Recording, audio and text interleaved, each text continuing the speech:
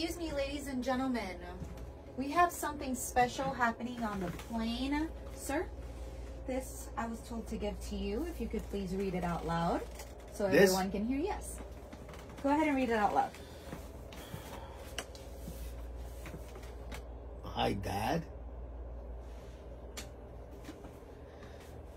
I know we haven't seen each other in over six months.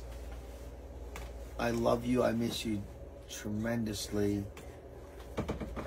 The military's been great for me. I'm so glad I'm following in your footsteps, of course. It's a lot harder than I thought it was going to be, but I am dedicated to carry the legacy of our family on. I hope to come and see you soon. I know you're by yourself, and it would mean a lot for you and I to be together. So when I get back, you and I are going to go hit the links. We're going to play golf. Love you more than I can even express, Dad. Can't wait to give you that big bear hug. Love.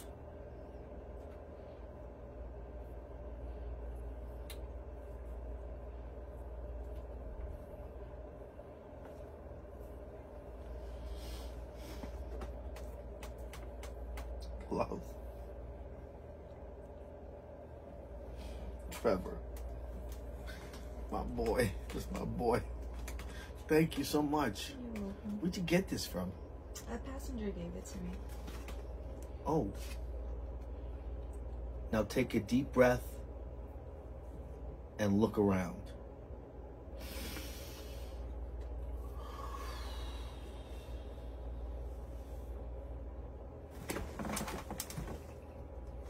Behind you, sir. Hey, Pop. Son! Trevor! Good to see you, sir. Ah, you're my boy! My boy!